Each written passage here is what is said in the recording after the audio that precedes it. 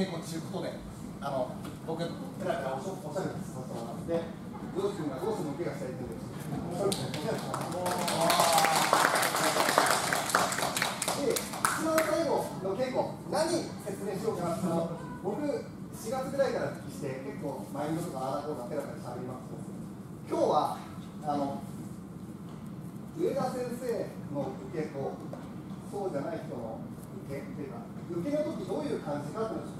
説明してもらおうと思います。説明しようと思いますでちょっとどうですか？あの僕最初一挙普通の一挙やります。普通の一挙普通の息をこんな感じ。ですで離れててこう入ってこんな感じ下表表表こう来てこのこれスタンダードで上田先生のもう上に上に近いんですよ近いあの普通の一歩って結構離れてこういう感じで上田上田先生の場合は上に出して近いでやられた感じがあの不快感が全然ないんでなんとなくやられちゃうんですよ。でただから上にこう出して近近づいてやられた感じ違うんでしょわかります？こんな感じであの違うんですよって話やってるやってるけど受けた感じが違うっていうことはやってることが違うっていうことなんで上田先生がやられた時って僕が一個やられるとすると普通はこうなるんだけど上田先生の方が上に出されてで近づいていくんですよすごい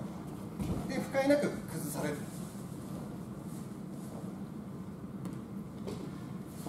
こういうようなちょっと上田先生の一挙をちょっとやってみてもらおうと思います。さっき一挙をやってもらいましたね。どう違うのか、どう違うのかはうまく説明できないけど、こうこうって上なんですよ。上上方向で実は言ってますよね。上上に出して近づいてる。こんだけ。だけどやられた感じは全然違うんですよ。こういうの。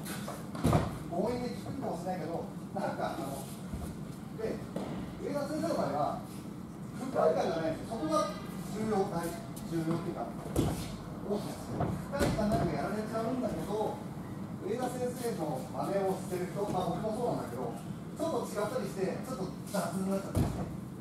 くないです。先生、手本見せてもらっていいですか上田先生。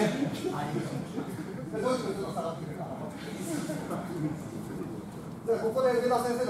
見てもらおうと思います。あ、違う違う。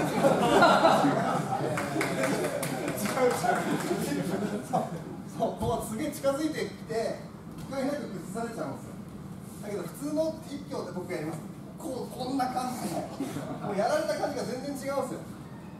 それで聞かないですよ。なんか上田先生のそうそうそうそう。っていうのをいややられた今ありがとうございます。僕が言いたいのはやられた感じが全然違うってことはやってることが全然違うってことを言いたかったんですなんでちょっと引き続きもうちょっと上田先生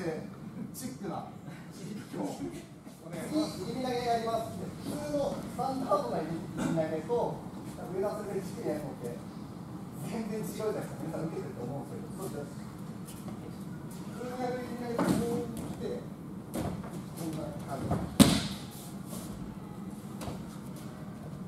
こう入って、こうやって、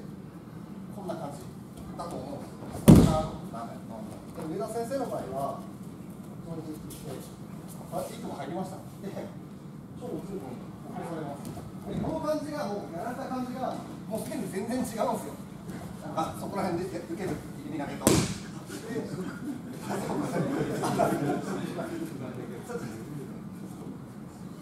なんで、受けた感じが違うっていうことは、やられてることは全然違うっていうことをちょっと説明したくて、なんか、ひどい言い方しましたけど、全然違うんですよ。だから、最初、上田先生と知り合った頃から同じなんですけど、ややられて不快感なく崩れちゃうんだけど、なんかそこら辺の稽古で受ける切りいうんだけど全然違う感じなんだからあの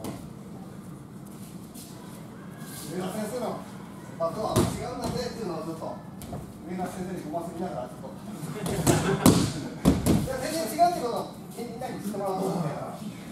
だからおしゃれしてやじゃあ2回目お願いしますさっき正面を上に上げるスタンスあちょっとてたんですけど、じゃあ上田先生、ちょっといいですか。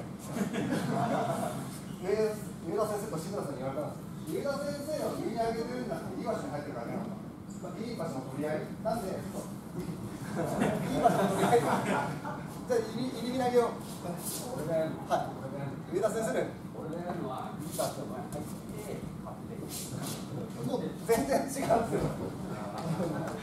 勝手にこういう、受けてるから。この手をどうしようか考えてるから。打たしちゃってるんだけど、打ってる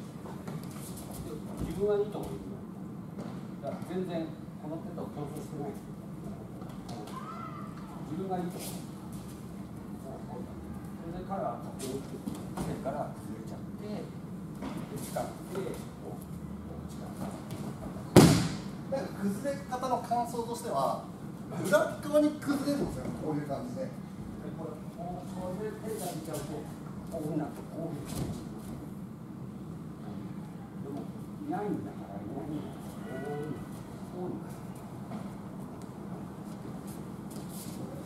ありがとうございました。そんな感じでちょっと1、